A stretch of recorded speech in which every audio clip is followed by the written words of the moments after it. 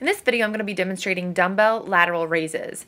In this first clip, I've paused it so you can take special note of where my wrist and my elbow are in relation to my shoulder. This is very, very important when you're training um, lateral delts, specifically with the lateral raise. Um, this is my working set here, and you'll see that I am using quite a bit of body English or swinging or cheating. Um, but even with that, there is a pause at the top, a small hold, and a very controlled negative.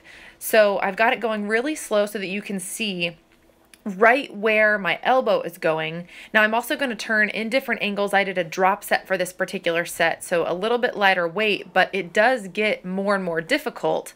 Um, I've got it from a couple different angles here so that you can see.